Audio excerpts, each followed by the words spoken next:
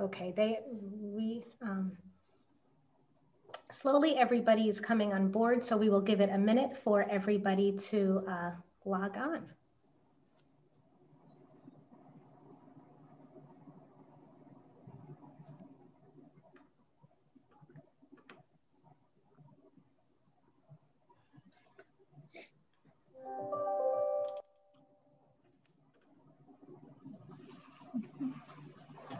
Good evening, everybody. Uh, we are just going to give it another minute to give people a chance to actually um, come uh, on board. So, um, so just be patient with us.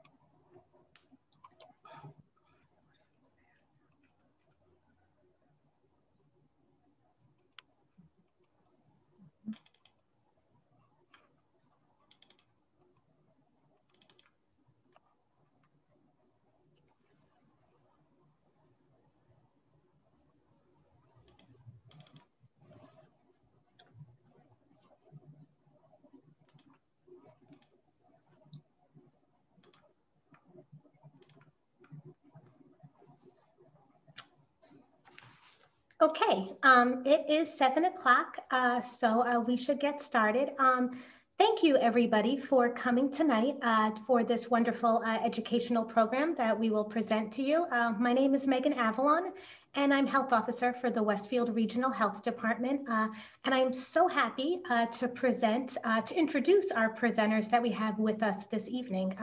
First, we have Dr. Janice Baker with us. Dr. Janice Baker has been an associate director with Overlook and Chatham Family Medicine for over 20 years. And she is a faculty member of the Overlook Family Medicine Residency Program.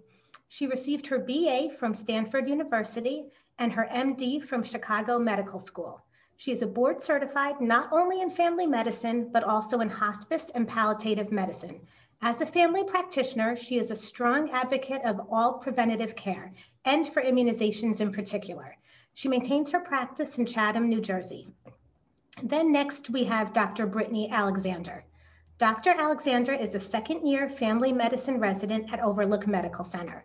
She received her undergraduate degree at the University of Notre Dame and went to medical school at Touro College of Osteopathic Medicine. Then we have Dr. Ellen Shelley.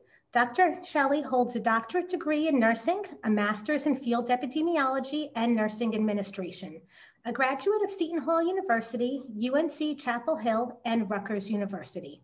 Over 30 years, uh, with over 30 years nursing experience, board certified in nursing administration, healthcare quality, case management, ambulatory healthcare, and she's also a licensed health officer in New Jersey. And last but certainly not least, we have Dr. Denise Rizzolo. Dr. Rizzolo has been practicing has been a practicing physician assistant in family practice for the past 20 years. She also has a PhD in family science. She works with the Westfield Regional Health Department in our vulnerable population program, and she is the practicum coordinator for the Fairleigh Dickinson University Master of Public Health program. So welcome. Thank you all for agreeing to present tonight. Um, for the public, just some um, ground rules um, or some um, thoughts. Uh, so to have tonight uh, be really organized and flow um, in, a, in a good manner, um, what we were thinking is we are going to present uh, a little bit um, some topics um, that were on the flyer, and then we are going to open it up uh, for questions and answers. Uh, we are going to stop around 8 p.m., but if any questions remain, we will certainly get back to you. We'll post all the questions and answers on all the websites, uh, but we definitely want tonight to be interactive. So I am uh, really uh, looking forward um, to tonight. Um, what we can do is uh, when it gets time for questions and answers, we can either type them in the chat um, or um, if you're able to raise a hand, uh, you can raise a hand um, as well. But we also have a bunch of questions we will address that were submitted ahead of time. So I am going to share my screen so we can start. And uh, today we will start uh, with Dr. Ellen Shelley. Um,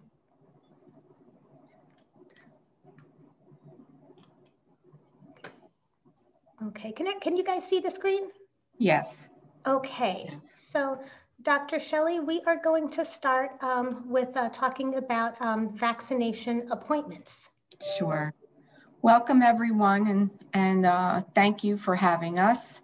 Um, the, the best way to find an appointment is to visit the covid19.nj.gov um, site and register there. They'll ask you a series of questions and um, once you've submitted, you should get an email back saying, thank you, we've received your registration. Um, at that point in time, what that means is, is that you're registered. Um, you should continue to watch your email because you'll receive another email telling you that it's time for you to log back on and to pick a site to schedule your appointment. Um, you should know that you should check your junk mail because sometimes the email will come through that way, but check the email frequently um, to make sure that you don't miss the email. The other way that you can um, get an appointment is through the Union County hotline. Um, if someone is not technically savvy or doesn't have access to a computer and internet, they can call the Union County hotline if you're a resident of Union County and you're over the age of 65. And they have someone that is live from 8 a.m. to 8 p.m. Monday through Friday who will um, take your information and register you to um, get a vaccine. There are other ways that you can register. Um, there are six mega sites in, in the state. Uh, there's one in Morris County, there's one in Gloucester County, um, there's one in Middlesex. Uh, they refer to them as the mega sites. And if you go directly to them, you can register there as well. Um, and the recommendation would be that you would want to register on as many sites as you can because uh, they may not reach you at one site as quickly as they can reach your, your name at another site. So I would recommend that you try and register at as many sites as possible. Um, the other thing that the state health department just recently um, introduced was they really want to vaccinate the age 75 years and older and they've set up a specific hotline for people if you're age 75 or older to call um, and try and make an appointment through that state senior vaccination hotline. And that number is up on the screen. It's 856 249 7007. Um, so if you sign up at, in as many places as you can that are within driving distance to you or where you think you can go, it'll give you more of an opportunity to um, get the vaccine um, as soon as you can. Um, and once you get an appointment and you're, you're satisfied, that's the site you want to go to. If you have other appointments scheduled at other sites, um, then you can just call or log on and cancel those appointments. Thank you, Dr. Shelley. You're welcome. Uh, next, we have Dr. Rizzolo, who's going to talk a little bit about the contact tracing um, process and the COVID Alert uh, New Jersey app. Uh, Dr. Rizzolo, before we get started with your slides, um, you know, we've been getting a lot of questions at the health department that um, there doesn't seem to be a lot of COVID activity or illness. Um, do you think that's true? No, I would say um, it, it certainly is not um, at the rate that we saw last year, but we are still seeing um, an abundance of cases. Not only, you know, I'm still in clinical practice, so I'm seeing them not only in practice, but I'm seeing them at the health office as well.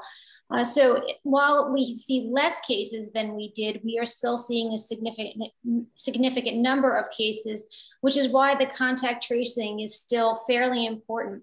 Um, so please, when we call, answer the phone. Um, we're calling for a reason. We know that you may be contacting your contacts and we understand this, but they also need to speak to us because sometimes what gets confused is the difference between isolation and quarantine. So when we speak to them, we really can give them an understanding of what those two terms mean.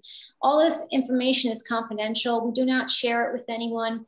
We do not ask about legal status, and we certainly don't, you know, if there's concern, are we going to report to the police? And that's certainly not the case, and that's never happened and never will.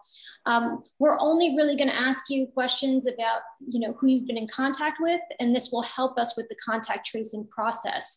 And um, contact tracing, even though we're going to talk about the vaccines and how effective they are and, and what a great rollout is going on, it really still helps us identify people who are not vaccinated and who can be exposed and who are at risk of getting this virus. Um, so next slide, Megan. Sure. We do have the, uh, the New Jersey Alert application. So it's called COVID Alert New Jersey, and it is completely free. So if you have an iPhone, you can get it at the App Store for iPhone users. And for Android users, I looked it up and you can go to Google Play. And it works off of our Bluetooth technology that we all have, and it senses any close contacts um, that have the app, and it will exchange a, a, secure random number. So it kind of talks app to app. It's not talking person to person. So we want to make that clear that it's it's this is all pretty confidential, and it's it's done through this Bluetooth technology. Um, your name and location are never disclosed. I know that's a concern. Well, can they find me or can they geomap me? That that's not what this app is doing. Um, this is purely for contact tracing. And as we said, all the users will remain anonymous. So no one's going to know your name, and we're not going to be telling anyone your name as well. Next slide, Nick. So um, if you test positive for COVID-19, a contact tracer will call you and ask if you're willing to anonymously notify the close contacts um, your phone has detected by uploading your app's close contact list. So that's the way it will work through kind of the list and through this number. And each day the app will compare your list of close contacts codes with codes that are associated with the COVID-19 people. So once again, this is secure going app to app. And if there's a match, then they'll contact you and they'll let you know the next steps. So I, it's well worth having. We're still seeing cases, and while you know we we fully believe that people will call each other, this is another great way for us to do a lot of contact tracing as well. So once again, it's free, it's secure, and it's anonymous. I mean, those are key words to remember that when we call you and we ask you, you know, do you will you please sign up for this app? Be aware that that everything is secure. Thank you so much for that. That was really, really great information. Um, so we are just going to switch slides here.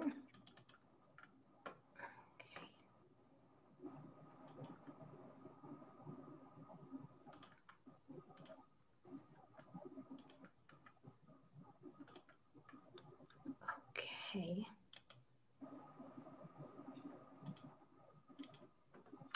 Okay, and next we have Dr. Alexander, who's going to talk to us a little bit about the way uh, COVID-19 vaccines work. Okay, hi everybody. Um, so this is what a the coronavirus looks like. Um, this, if you can see, it has these things we call spikes on the outside, and this is really what both the Johnson and Johnson and Moderna and Pfizer vaccines are going to target. Albeit they do it in different ways, but being that it's unique to coronavirus, it's something that um, is really good for uh, vaccine purposes. Um, go to the next slide. So first I'll talk about Moderna and Pfizer. Um, so they basically, I'm sure you've been hearing their mRNA vaccines. And so I just wanted to talk to you a little bit about what that means and how basically your immune system responds to this type of vaccine. So mRNA is genetic material that all of our cells use to make uh, proteins and enzymes, everything in the body, basically. Um, so what Moderna and Pfizer did is they took mRNA that codes for those spike proteins that I showed you before from the coronavirus. And since it's very fragile, and that naturally, if we just kind of put the mRNA in our body, it would degrade on its own, they put it in a lipid particle, a lipid membrane. Um, and that's why it has all these special storage temperatures that you've been hearing about. But that's so we can get it into the body and get it into your cells without the cells breaking down, the body breaking down the mRNA. So you go to the next slide. I'll show you a little bit about how this process works in the body. Or the next.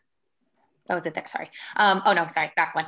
Um, mine's delayed a little bit. Sorry about that. Backwards. I don't know how to get back. oh, Hold on a second. okay, that's okay. We're just gonna go through. Okay, sorry about that. That one right there. Perfect. Um, So this is a lot of immunology. So I'm going to try to give you the overview of it. I can. So how it works. So those purple things on the top, that's the vaccine particle. That's the mRNA with the code for the coronavirus spikes. Sends in there. It comes in contact with your cells. It fuses with the membrane. It takes in that lipid particle goes, lipid membrane goes away, and the cells take in that mRNA.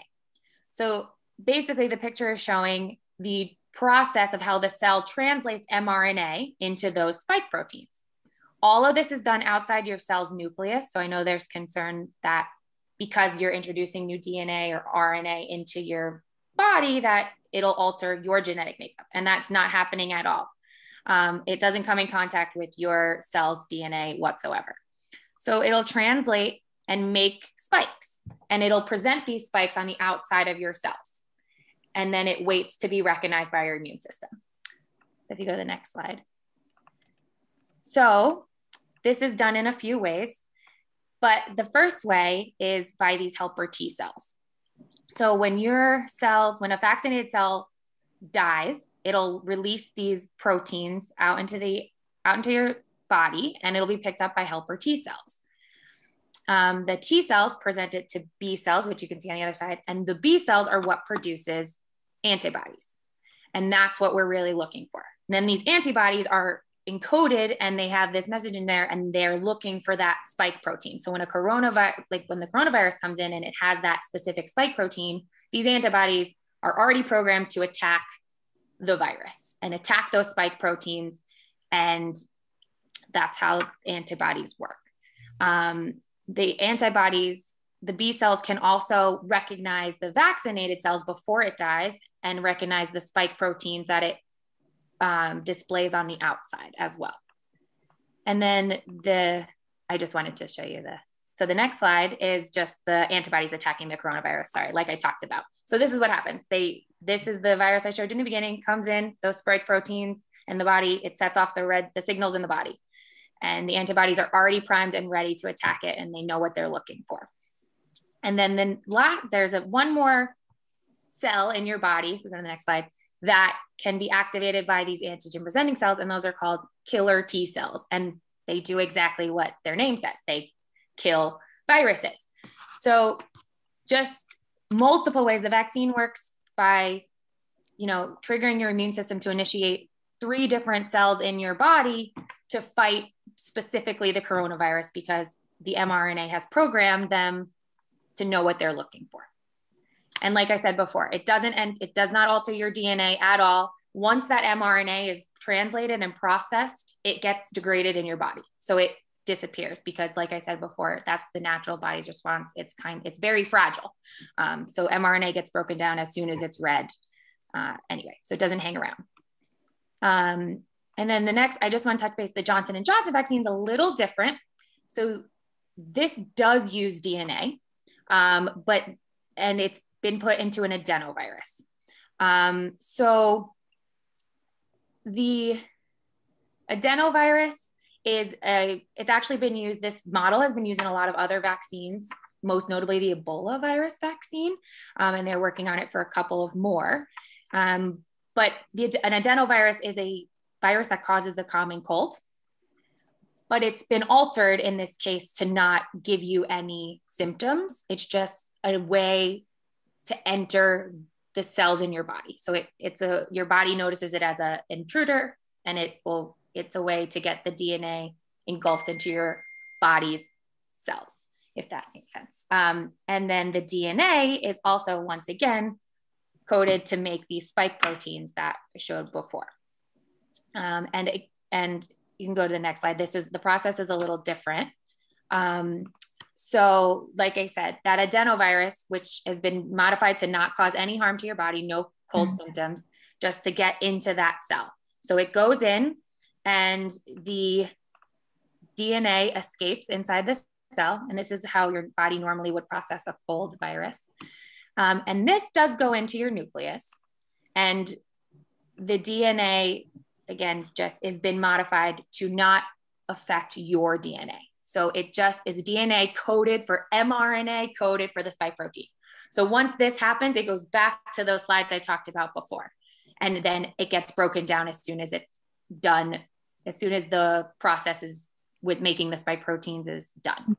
I know that was a little confusing, but I just wanted to show you that these uh, antibodies, these vaccines, excuse me, are producing antibodies. They're producing T cells to help trigger antibodies and killer T cells to help fight coronavirus. So there's multiple ways it's trying to it'll to help stop the virus once you get it and it's not affecting your DNA or your natural DNA in your cells whatsoever. So just two big points. But that's so that's my immunology lesson for today. You guys brought me back to med school. So thank you. I got a, I got a refresher.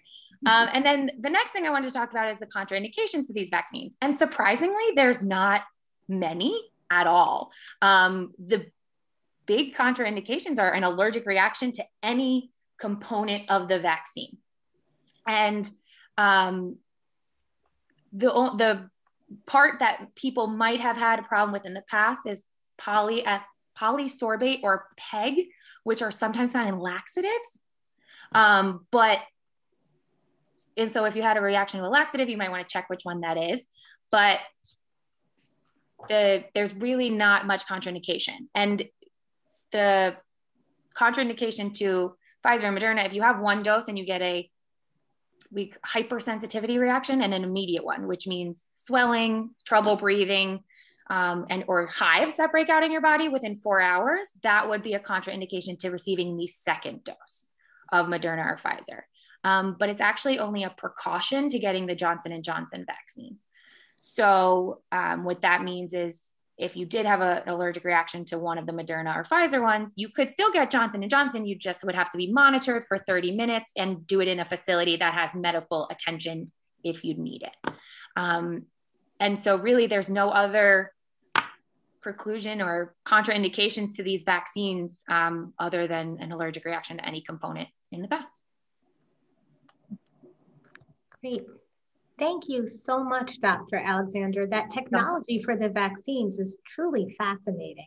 It is. And they've worked on the adenovirus one. It's been in multiple vaccines in the past. And the mRNA has actually had a lot of research done on it um, for multiple other vaccines. This is the first one we've produced. Um, but, you know, it was tested by the FDA vigorously and uh, it had a lot of funding behind it and uh, they are working on other vaccines with it. So it's been tested and, and in the making for like probably 10 plus probably right. more than that.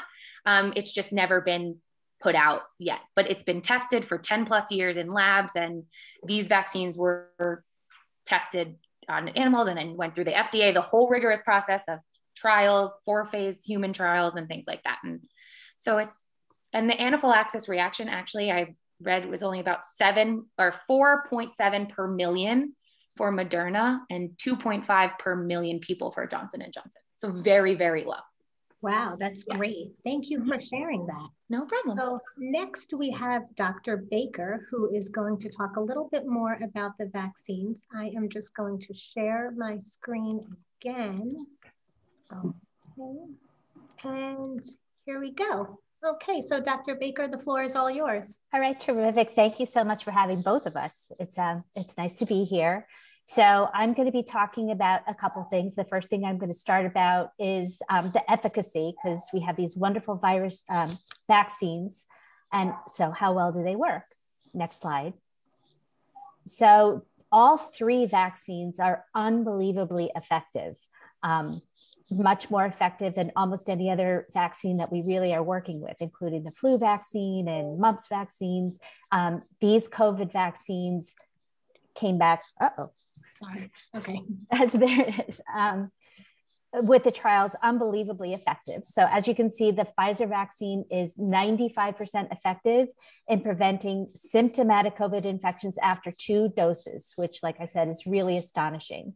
Um, this appears to be basically um, equally effective across age groups as well as um, racial and ethnic groups. Moderna is almost virtually the same at 94.1% effective in preventing symptomatic COVID uh, 19 infections. Um, apparently, it's minimally less effective in people less than 65, but like minimally, not enough to even really mention it. But I figured since I was doing the research. Um, and it also is roughly equal across um, racial and ethnic groups. And the studies, these studies, this is important to know, these studies were done prior to the emergence of the new variants from the UK, Brazil, and South, um, these South Americas. Next slide. Um, Johnson & Johnson is a one-dose vaccine, which is 72% effective against moderate and severe disease in the US, um, a bit less in other places in the world. And one's first reaction is like, oh, 72%, that's not so good. It's unbelievable. Um, like I said, it's much, much higher than almost any of the other vaccines that we have, which have basically brought down the incidence of many lethal diseases across the world to nothing. So 72% is extremely effective. And it's important to know that the it was tested approximately three weeks after one dose. So the reason that Johnson and Johnson decided to go ahead with just one dose is because they initially were doing animal studies and they noticed extremely high antibody levels after one dose. So rather than doing the two dose system that Moderna and Pfizer did, they decided to do their testing with one to see if we could get increased efficacy for reasons that would be really, really helpful worldwide. Because if one dose of a vaccine was able to be effective, this would be much easier to produce and to vaccinate more people because as you know i mean it's great if everybody in our country our county country is vaccinated but this um, pandemic is not going to really be under control until 85% of the world has either had the virus or has been vaccinated the other important thing to know is that, um, that Johnson & Johnson is 85% effective against severe disease with no difference across eight countries or three regions. And key, there were no hospitalizations or deaths in the vaccine trial um, 28 days following vaccination with the J&J vaccine. So that's really the key. I, am sure we all know people that have had COVID, they were sick, they didn't feel very good for a little while, and then they were fine. That's about 80 to 90%. But there's lots of people that, as Dr. Alexander and I had seen, have been hospitalized and haven't have passed away because of this horrible virus. So to be able to have a vaccine that can prevent that, that's the part that's um, um, overwhelming. And if we had a vaccine that's effective, that's what we need to um, to go with. The other thing that's interesting is J and J is also testing a two vaccine series, and we should have an idea what's going on in May. Um, so again, we were, it's impossible to compare the three different vaccines because the trials were done completely differently. Pfizer and Moderna were testing for symptomatic disease 7 to 14 days after the receipt of the second dose, and J&J was studying the efficacy of the single dose 14 to 18 days after the dose. But again, as I said with J&J, it, it was 72% effective approximately at those time points, but two months the, the efficacy of the J&J vaccine doesn't stop at 72. It keeps getting better and better and better. Um, and I think it reaches into the um, mid to high 80s as you get to the end of the second month. So it's really virtually the same as far as efficacy compared to Pfizer and Moderna. Also, as I mentioned before, Pfizer and Moderna testing was done prior to the emergence of the variants from the UK, Brazil, and South Africa, South America. South Africa. Okay. Um, asymptomatic transmission. Um, so we don't know yet. There's a lot that we don't know yet, but we don't know yet if the vaccines can prevent asymptomatic um, infection because the trials, like I said, they were testing for symptomatic disease, not asymptomatic. And it's also not known if a vaccinated person can transmit the virus if they're infected but don't show symptoms. Symptoms. We don't know that for sure yet. Tests are ongoing. Um, I did read, and probably many of you have heard, there is some data coming out of Israel where 90% of those over 50 in the country are vaccinated, and the cases, quote unquote, plummeted. Not only hospitalizations, but overall cases, including asymptomatic infection, which does lead to think one to think that um, the, the amount of transmission also is plummeting from asymptomatic infection, which is great. But we need to don't know that for sure yet. So that's why it's very important when you're in public, when you're in places where people may not have been vaccinated, that we continue to wear, um, wear masks. Um, and, but there was, I, I'm sure you guys all heard, it's all over the news, the CDC guidelines that fully unvaccinated people can now get together safely. Nothing's 100%, but as safe as it can be in small groups. So that mm-hmm. was really good news for many of us. Next. Side effects. So these vaccines, they're very safe.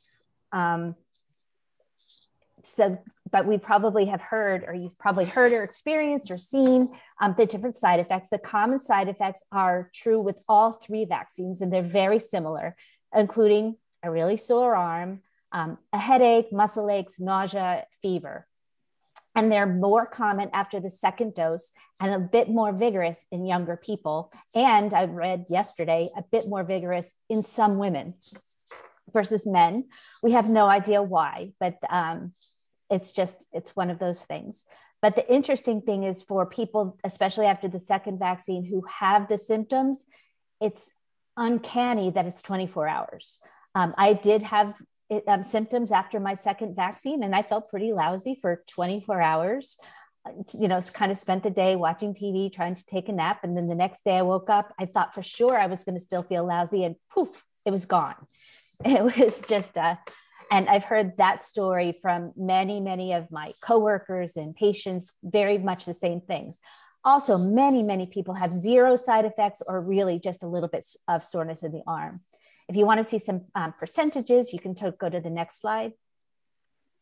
It's kind of small, I apologize. But so it's, it's um, again, a younger age group and an older age group, some of the typical symptoms and about what percentages of people um, undergo those side effects. So go ahead. Um, so why does this happen? It basically shows that the immune system is mounting response. Um, and that's why, too, people that have had COVID who have had um, the, the vaccine might have some of these um, side effects to the vaccine after the first um, vaccine rather than just the second because their body is already primed with antibodies against COVID.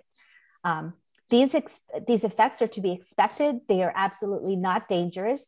They're not comfortable, but as we've seen, um, it's 100% um, better to go through something like this than to go through COVID itself, which can be deadly, etc. Next. Um, Dr. Alexander was talking about the allergic reactions. They're extraordinarily rare, and there are the same um, uh, the same percentages that she was mentioning: 4.7 cases out of a million in Pfizer and 2.5 for Moderna. Um, and again, pretty much every place that you go to get the vaccine, the places are set up for um, if somebody were to have an allergic reaction. Anybody that's had a common um, had allergies to foods or history of anaphylaxis to anything else that is not a contraindication that they do ask you and so rather than watching you for 15 minutes they're going to watch you for the extra 30 minutes to make sure that you're okay um, another possible reaction is participants rarely develop bell's palsy which is um, a temporary facial nerve palsy. However, this rate wasn't higher than the general population, so it's unclear whether or not the vaccine caused it or whether it was just really a coincidence. Next. Long term effects. So, again, these vaccines, the production is very new. Again, the technology is not. The technology, especially those mRNA vaccines, has been on for um, more than 10 years but these particular vaccines have been in existence for a very short period of time. Um, so ongoing studies are going, but at this time, there are no long-term side effects of the vaccine. Um, vaccines in general have short-term side effects, like we were talking about, body aches, fever, a sore arm. Um, but they are the long-term effects from vaccine presentable diseases like measles or polio are much greater than the brief side effects from the vaccine. We do know that the COVID, um, COVID-19 itself can have long-term side effects, fever, fatigue, shortness of breath, prolonged cough, um, joint pain, difficulty with con- concentration, depression, and many more. So the disease is worth presenting, preventing by receiving the vaccine. Next.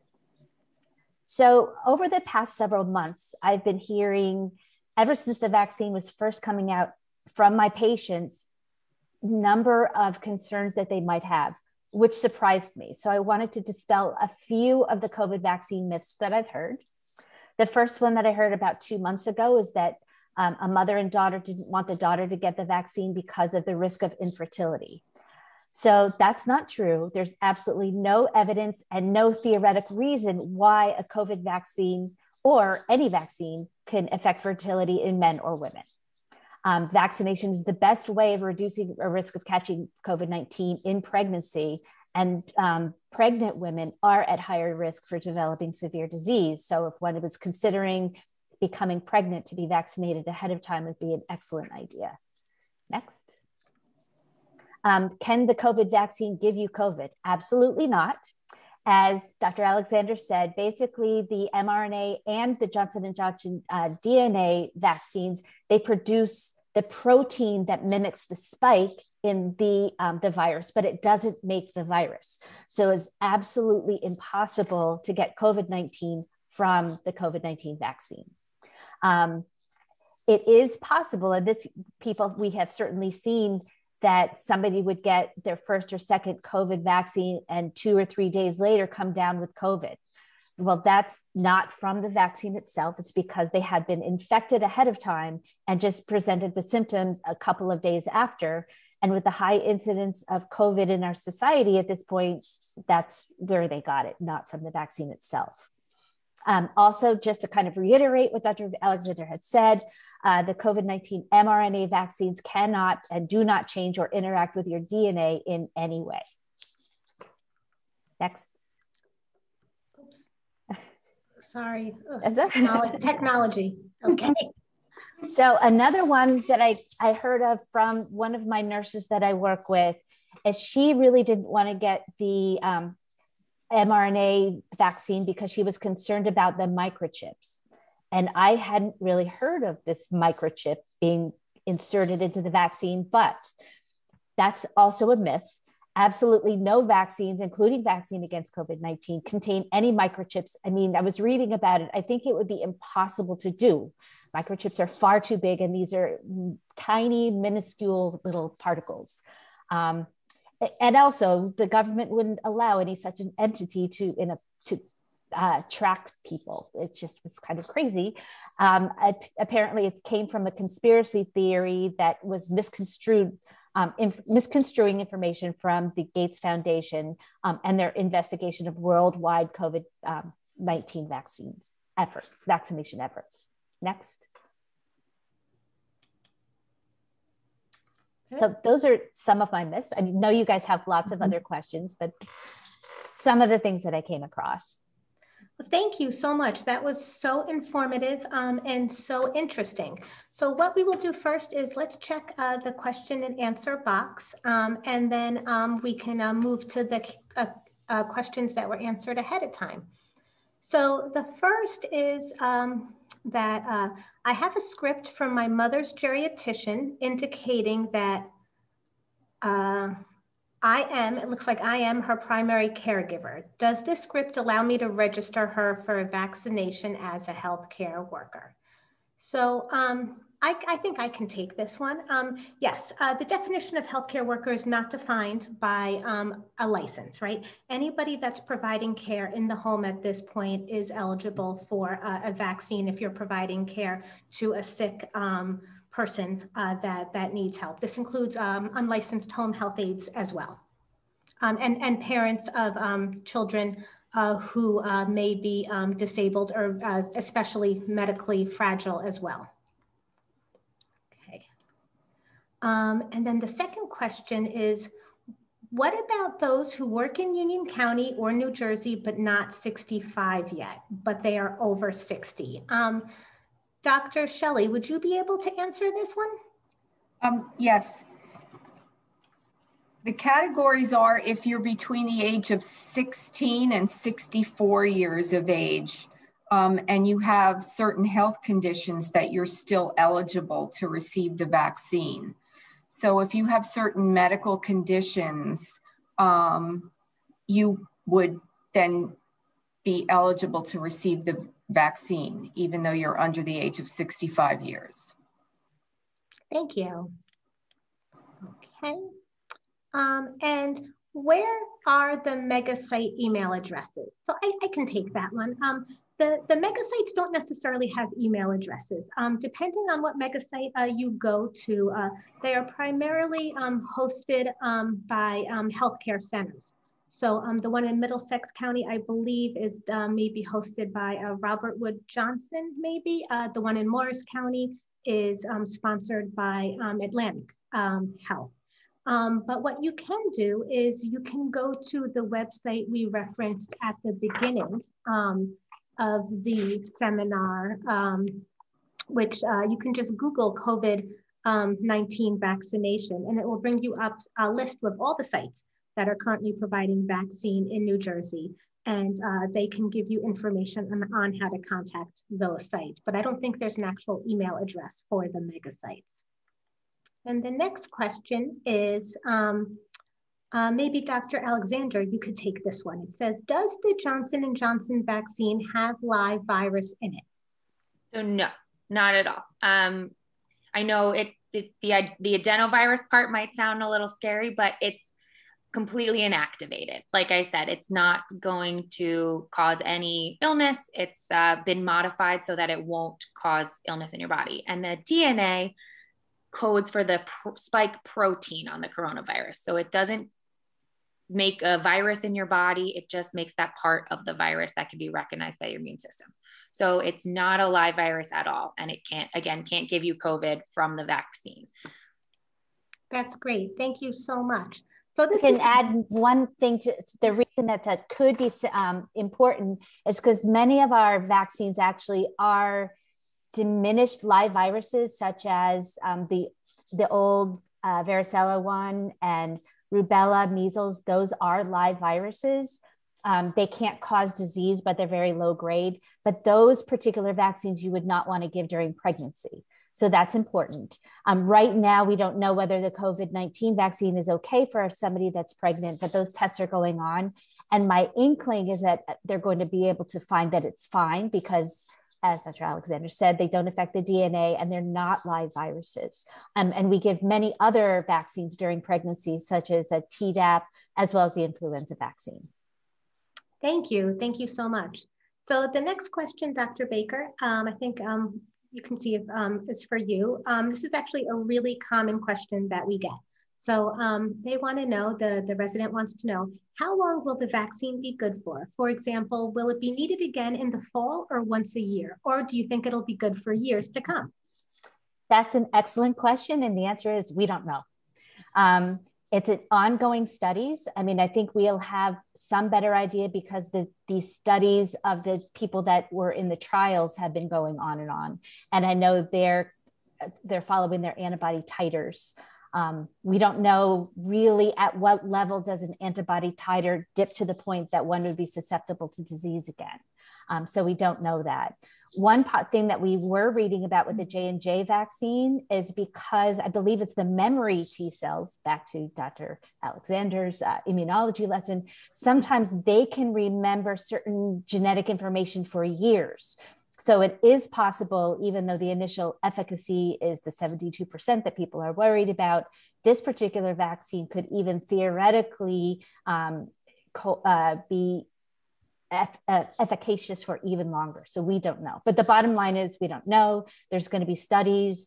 I have a feeling there we're going to have to have some sort of a booster specifically because of the different variants that are already in our country. And mm-hmm. some of those variants, the vaccines are not as efficacious um, as to the run of the real coronavirus. So keep asking and reading. And as soon as any of us know, we'll let you know. Thank you. Yes, uh, that's true. Um, you know, we uh, it, it's amazing to think that um, we just passed the one year anniversary, right? In some ways, it seems like we've been living this life for, for many, many years, but really um, COVID is, is just a year uh, new to us. So um, that's definitely an appreciated answer.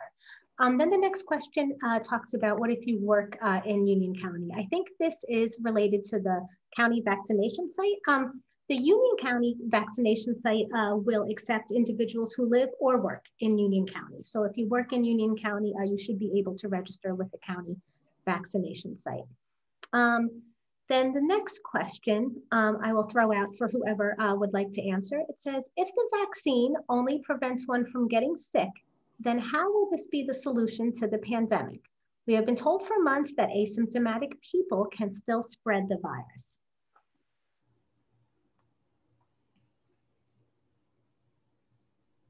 I guess I could try.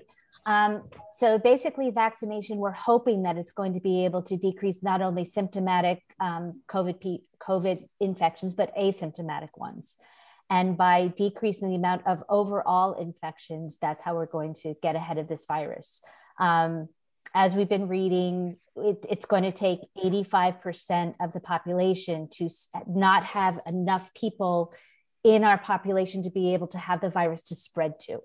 Um, and until we get to that number, the virus will continue to spread, be, be, it asymptomatically or symptomatically.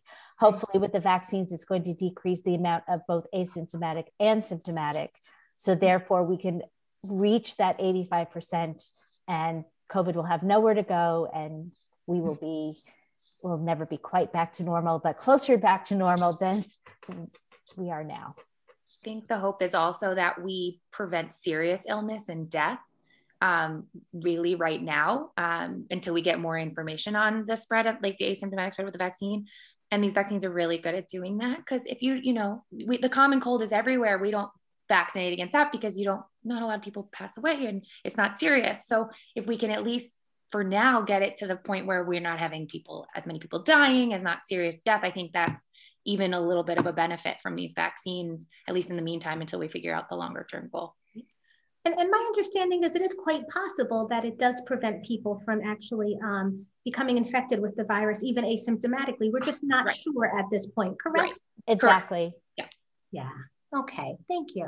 Next question. Uh, I the the the, uh, the the person says, I am not 65 plus, but I'm working as a dental assistant. Will this allow me to receive the vaccine? Dr. Rizzolo, do you want to answer this? I can answer that. So yes, uh, dental assistants um, are eligible to receive the vaccine. Um, they're part and they fall under the umbrella of the healthcare provider. And, um, you know, at, at, at, some point, or it was thought that, you know, it would certainly be advisable due to the nature of your job being closer to the ex- excretions um, and oral um, virus. So yes, you would be eligible and we would recommend it as a group. Okay, thank you so much. And the next question is, are any of the vaccines less effective to people with compromised immune systems? So I don't, I, again, I don't think we have long-term data for this, but it's 100% recommended to get it for compromised immune systems because those people, if you do get sick, will have more severe illness. Um, I guess anybody can correct me if I'm wrong. I guess in theory, yes, you could probably have less of an immune response to the vaccine just because you don't have as robust of an immune system. Um, but even that little bit, even if you do make a little bit of antibodies and keep you out of the hospital or keep you from getting severe illness, uh, would be enough, I think. And they are safe for people with immuno in immunocompromised states. And Dr. Alexander, to add to that, one of the questions that we commonly get at the health department is, uh, what is the best vaccine residents should get? Anyone you can get in your arm, really, whatever you can get. They're all, like Dr. Baker mentioned, they're all extremely effective, extremely. And like I was mentioning, they have, I think some of them have up to a 90 plus 99%, 95% effective at keeping you from dying, um, and 80 plus 85 plus percent from preventing serious illness all of them all three so anyone you can get and it's already hard for people to get one of them so whatever you can get in your arm i think is is the best vaccine to get. I wouldn't wait for one or the mm-hmm. other. Right. Yeah. I, I think that's exactly right. So if you can find an appointment, whatever vaccine is being offered, uh, they are also comparable that that you should take that appointment for sure. Mm-hmm. Thank you. Thank you yeah. for that answer. Okay. So the next question is, today New York announced that they would uh, lower the starting age to 60, uh, from down to 60 from 65 without a comorbidity. Can we expect New Jersey to do likewise? It seems less chaotic than suddenly saying, okay, for everyone under 65. Um, so I can take this one. Um, we have not heard anything from the State Department of Health that um, they um, are considering that, um, but that doesn't mean that, um, you know, uh, the guidelines can't change uh, in the near future. Uh, one of the things about everything that we're saying tonight, and really we have uh, always start with this disclaimer for the last disclaimer for the last year is that guidance has changed so quickly. Um, so something that we're saying today, like who qualifies for the vaccine, may not be true in the next few days, right? So you definitely want to, especially with the vaccine and eligibility, re, uh, be up to date, uh, make sure that uh, you're really following who's eligible, because that can change quickly. Uh, this question is, we see, uh, will we see vaccines for children uh, under age, teenagers, children anytime soon? And this uh, person says, thank you very much for this webinar. Well, you're welcome. Um, and uh, what about Dr. Baker? What do you think? Do you think that we'll see uh, the, the vaccine being offered for children? I certainly hope so. I know that there are studies that are ongoing at this point for all of the different vaccines. Um, they've lowered, I, am sure, from 12 to 16, there's ongoing studies, and that's probably close. And pretty soon they're going to be lowering the age for the vaccine trials. So, as soon as they have enough information to show that these vaccines are safe and effective for children as well, believe me, they're going to be out there. So, I have a follow up question to that. Um, some of the comments that, that we get at the health department is uh, the, the virus, uh, when children contract it, um, it's safe and, and kids don't really get sick. Um, so uh, it's really a two-part question. Um, you know, in, in, your clinical experience, um, Dr. Rizzolo, Dr. Baker, Dr. Alexander, uh, do, do you think that it's a it's a fair statement that kids don't get sick when they get um, COVID-19? And um, do you and do you think that if a vaccine is um, available in the near future, that parents should consider it for their children? 100% yes. Um, so children, yes, that's true. They they do not get as sick as older people. There are not as many that are hospitalized. But interestingly, when they do get sick, they have some um, really unusual conditions that can also be very serious. Mm-hmm. Um, and young children as young as two have have died yes. Um, yes. from COVID. So again, not at the same rate, not at the same numbers as adults, but children can get very sick and can die. And it's very indiscriminate. You never know a perfectly healthy soccer player would get very sick and, and could die. So um, yes, when and the second question is once the vaccine is available of course the parents should be getting the uh, vaccine for the children not only to protect their child because they don't want their child to be one of the um, children that gets very sick but it also that will help to spread um, spread disease. Because remember i was saying we need to get to 85% and if 25% of our population is children, we can't get to 85% until some of the children are starting to be vaccinated. We need them to be part of the solution. So, yes, um, I'm hoping that they're going to be finding that the uh, vaccines are safe and effective for children very soon because they're part of um, part of the solution. Great, thank you so much for that. Uh, the next question is, if a person has high blood pressure and high cholesterol, are they currently eligible to get the vaccine? Um, so Dr. Shelley, do you want to answer that one? Yes, they are. Um, the state health department designated a list of, of medical conditions and they've recently added on additional medical conditions. And one of those conditions is hypertension. Thank you so much. Um, and the next question is, what about uh, the multi-system disease? I think they mean MIS-C for children. Can uh, Dr. Alexander, do you want to talk sure. about that for a second? Yes, yeah, so, so that's what we've been seeing a lot in the younger population. Um, it presents like something called Kawasaki disease um, or toxic shock syndrome, basically swollen lips, swollen hands.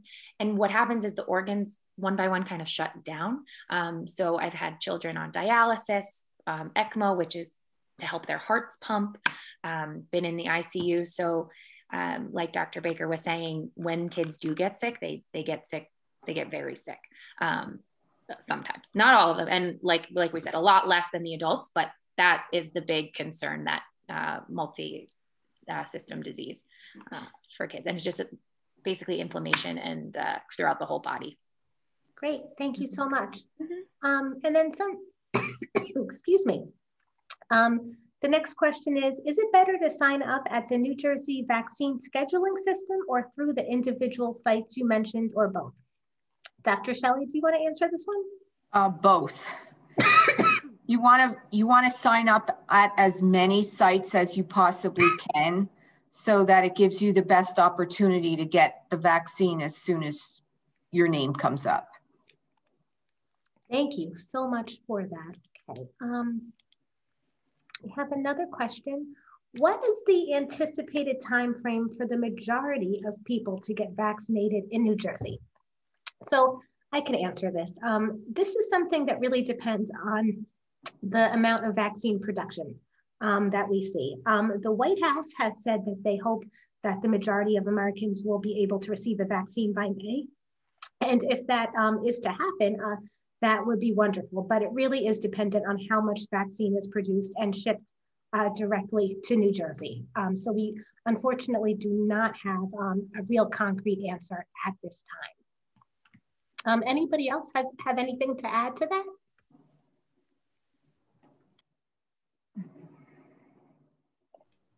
Okay. I wish we knew. You know, Megan, I think it's important to remember, and I think everyone's going to agree. I mean, there was so much concern about the vaccine being produced so quickly and how we, you know, process it so quickly. But I think you that the audience needs to remember that we have modern technology now that allowed us to facilitate the development of this vaccine, whereas years ago, we were doing it on petri dishes and slowly growing the viruses and, and now we're doing it through simulated technology. So we know you know we know the mutations that can occur. We know that it's safe and it's to be expected that it, we would be able to produce it at a, a much quicker rate than we would 10 you know 20 years ago. So you know the safety data is real and and we probably feel pretty confident that it is a safe vaccine Thank you so much for that point. And um, isn't it also true that a lot of the work with the technology for the mRNA vaccines was already done before COVID? Um, so, so we really had the framework in place, which is another reason why we were able to produce a vaccine quickly. Is that is that fair to say? Yep. Yes.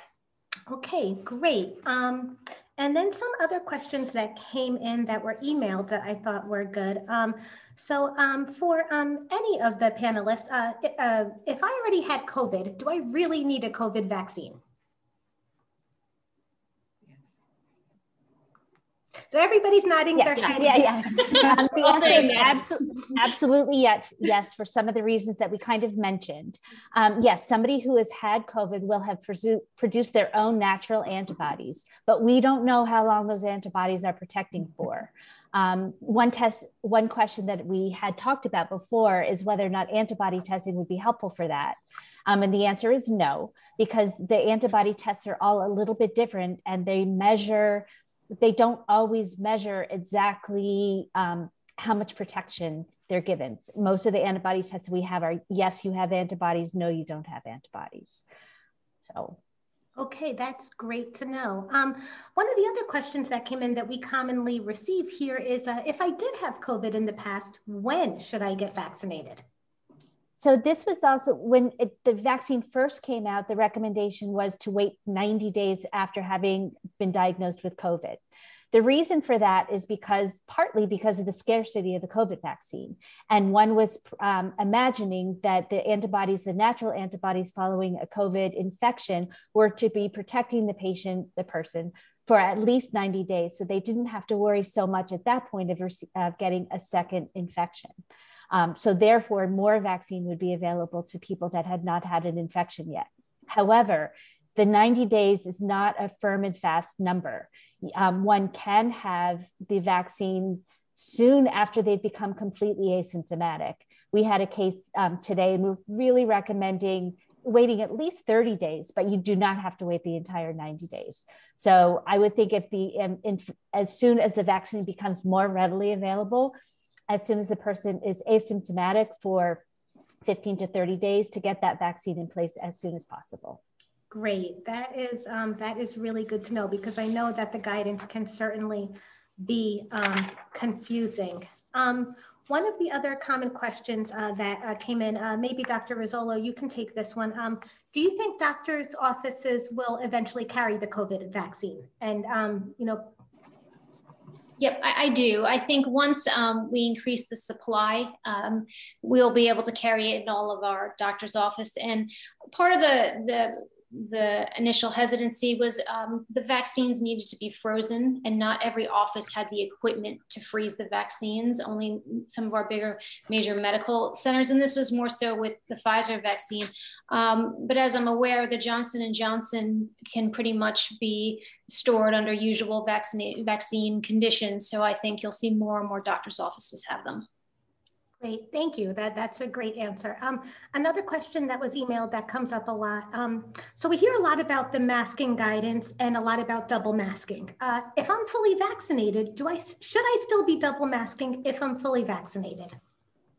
So the answer would be yes, for the same the reason that I had mentioned before. The reason that somebody would be wearing a mask after being vaccinated isn't to protect themselves because in theory, they're 95% safe, shouldn't be able to get um, serious illness at all. But the reason one is wearing a mask because we don't know whether the person who's vaccinated would be able to carry the virus asymptomatically and spread it to somebody who does not ha- um, is not immune or does not have the vaccine. So as far as single or double masking, the recommendations would really hadn't changed because this the double masks it protects oneself better than the single mask, but it also is going to protect other people. So until at this time, I would still recommend using um, when out in public, when around other people, anybody that could be susceptible, um, to please continue to wear the two masks. Thank you. That that's really helpful, and that really helps clarify it. Um, the next question submitted just now is um, how long can it take to receive an answer after I sign up? I signed up a month ago. Um, Dr. Shelley, can you answer that one? Um, I can't really give you an accurate answer. I can just tell you that um, it depends upon how many people that, that are ahead of you in the queue. Um, once they get to your name, then they'll reach out to you um, and try and schedule an appointment for you. Right. Um, and, and, Dr. Shelley, if people register, uh, if residents register uh, at different sites, um, let's say, you know, you're registered at Foresight and you finally get an appointment, what should they do if they have multiple if they're on multiple waiting lists uh, or if they have multiple appointments? When they get the appointment at the site that they plan on going to they should cancel the appointments at the other sites that they've been scheduled so that that will open up an opportunity for someone else. Great. Okay thank you. That that is good to know um, the next question is, why is there a risk of getting antibody-dependent enhancement with the mRNA vaccines, and what does that mean to the body? I don't understand that question. Um, I don't think I've ever heard of that. Yeah, I don't. Okay. Me either.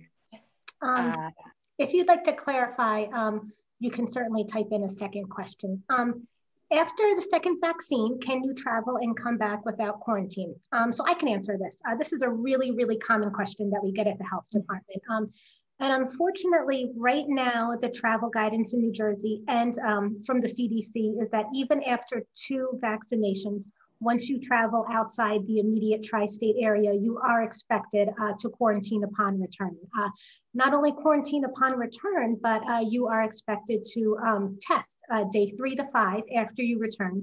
And then uh, if you test negative, uh, you're expected to stay home in quarantine for the next four, seven days after return. So unfortunately, um, you know, and, and, and sometimes, um, you know, residents um, you know, say that that that doesn't seem very clear, right? I'm fully vaccinated, and I, I completely um, understand how it's confusing. It's confusing even for us who, who we do this day in and day out. But the one thing uh, right now where we're at is CDC is really not, um, we're still advising against non-essential travel.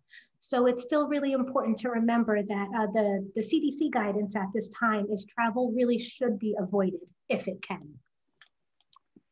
Uh, the next question is, will the coronavirus become a recurring annual phenomenon requiring uh, vaccinations like the flu virus? Um, I think we answered this previously and we said, but we're just not sure, right? Would, I mean, you know, um, I, I would say that uh, we really um, are, are still gathering that information. Okay. And one last question. Uh, if a person has trigeminal neuralgia and a history of anaphylactic uh, allergic reactions, uh, even on a skin allergy test, is it safe to get the COVID 19 vaccine? So it depends on what the allergy is, too. Um, but I mentioned before, it's really only things that are in the vaccine, which is not a lot of stuff. It's mRNA, the lipid layer, um, and some you know other electrolytes basically. Um, so i would ask your doctor and just clarify what your allergy is but trigeminal neuralgia no contraindications. You absolutely get it. Um, but again it just depends on what you're allergic to but most things allergies you should be fine to get the vaccine. But clarify with your doctor just what your specific allergy is have they can look at what's in the vaccine but for the most part should be okay. And, and, that's that's a great point. Uh, one of the things that we always say uh, in the health department is we give guidance, right? Uh, so certainly we're giving informative information, but certainly for specific uh, medical information for individual people, uh, you should always reach out to your healthcare provider who knows your medical history best and can advise you based on your medical history. Um, the last question uh, is uh, the CDC states if you are vaccinated, you can meet with others who are vaccinated in small groups. Uh, so this came out yesterday. Uh, this was um, really uh, rewarding news uh, for all of us who miss our families and friends. it says you can meet with those who are low risk and healthy. this individual went to the CDC website to define who would they they would consider low risk and healthy, and the CDC did not define that. So they are asking, um, you know, what would be the definition uh, of, of a low risk individual?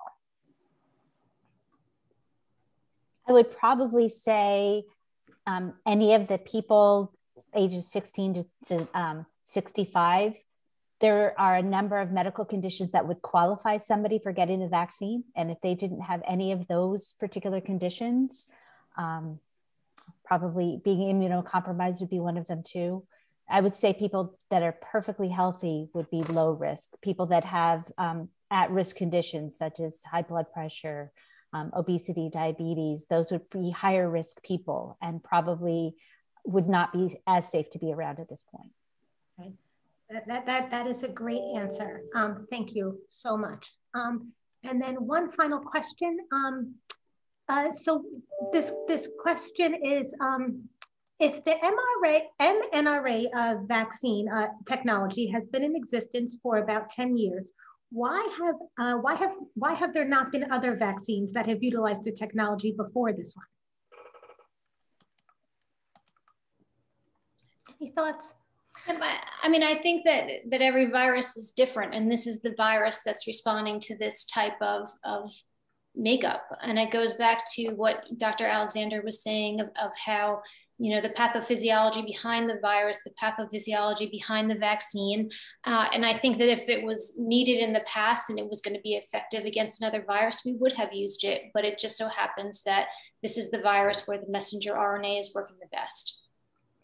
Thank you. So also, much. what she had mentioned, it's actually so interesting that there are other vaccines in development now. Um, uh, that should be coming out shortly that are going to be helping with a, a number of other really terrible diseases. So it's pretty interesting. Yeah, that's great. Really, really great.